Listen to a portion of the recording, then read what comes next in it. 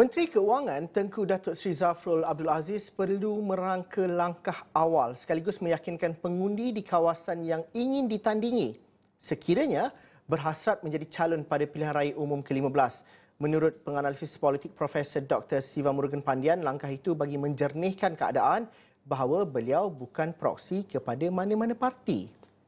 Maka uh, bagi uh, Tengku Zafrul, saya percaya jika sekiranya keputusan sudah dibuat untuk pertandingan pilihan raya, maka uh, dari awal lagi langkah perlu diambil supaya tidak dilihat sebagai calon payung terjun di sesuatu kawasan dan juga tidak dilihat sebagai masih lagi terikat dengan parti bersatu jika sekiranya beliau memilih parti UMNO kerana uh, lantikan awal dulu adalah di bawah uh, Perikatan Nasional, di bawah uh, kepimpinan Tan Sri Muhyiddin yang merupakan Presiden Parti UMNO. Jadi di sini itu semua harus uh, dileraikan uh, untuk uh, memastikan uh, agar beliau dapat menang di kursi yang mahu beliau tandingi.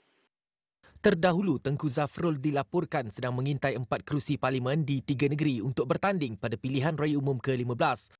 Antara yang disebut-sebut ialah Parlimen Lembah Pantai, Kuala Selangor, Kuala Pilah dan Jempol selain kerusi Sungai Besar yang ditawarkan secara terbuka oleh Ketua UMNO bahagian Sungai Besar, Datuk Seri Jamal Mat Yunus.